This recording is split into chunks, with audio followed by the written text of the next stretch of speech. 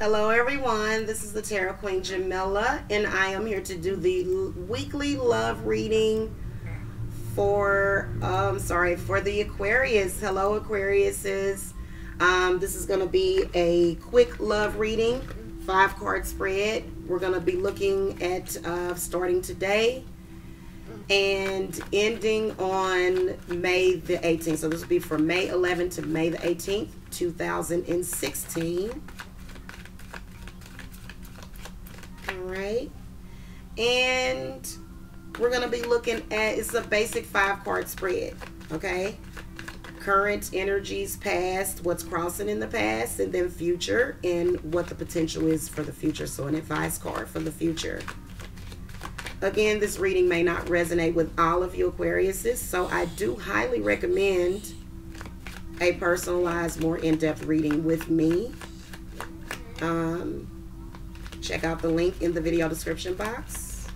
My readings are very reasonably reasonably priced, okay? Um,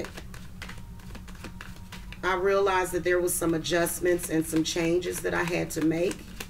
And I just ask that you be patient with me during those adjustments.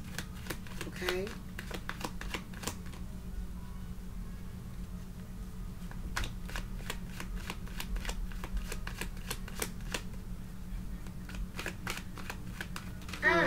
Done shuffling. All right, so Aquarius is, let's see what's going on here. Uh-oh. I can already see some trouble currently. Oh, wow. Mm-hmm. Again, this reading may not resonate with all of you Aquariuses, but currently I can see either an unethical person because you got the Seven of Swords. So I can either see someone unethical or I can see you trying to do something but not quite executing it the way that you want. So make mm. sure whether or not you're single or in a relationship that you like that you're on your P's and Q's, that you check every avenue. Okay, if you're involved with someone or you just met someone, you need to make sure that you check this person out to see if they are actually who they say they are. Because it's a possibility that they may be an unethical person.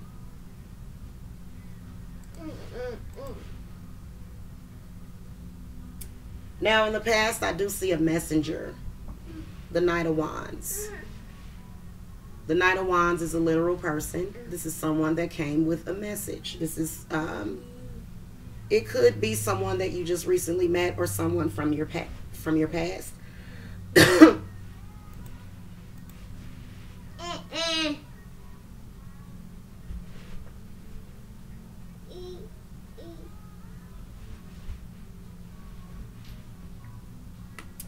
I do see what's crossing you um, is the Eight of Wands. Now, the Eight of Wands is about, um, you know, metaphorical movement after a stagnation.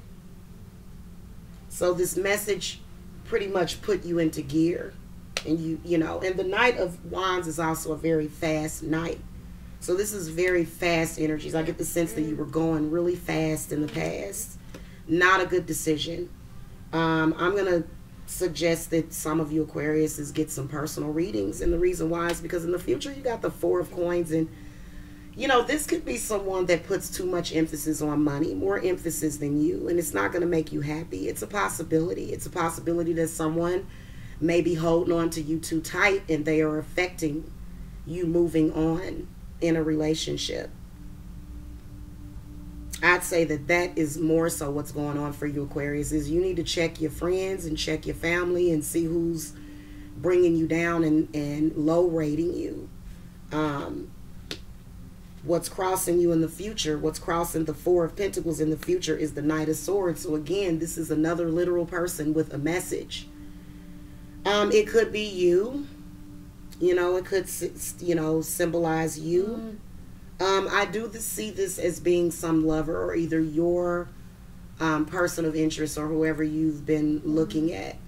And I, you know, with the with the Knight of Swords, this points to conflict. So I don't really see this as being the best relationship. Um, I mean, it, it's a it's mal it, it's fairly upbeat energy from the Knight of Swords.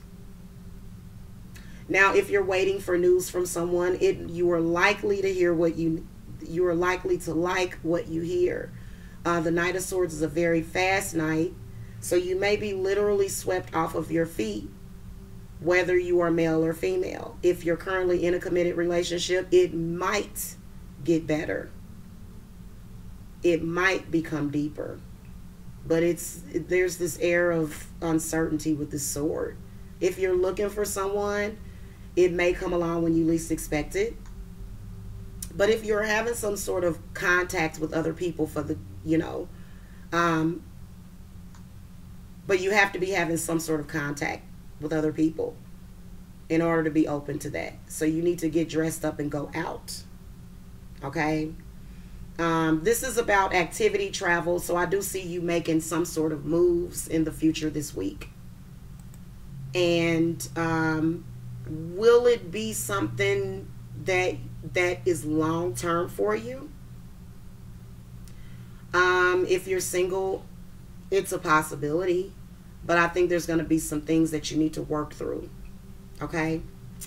Um, I, if you want a more personalized reading, I will link my website in the video description box. Make sure that you subscribe to this channel and thumbs up and also leave a comment. And do not forget to enter in my 3,000 subscriber giveaway. Thank you so much for watching and have a good week. Bye.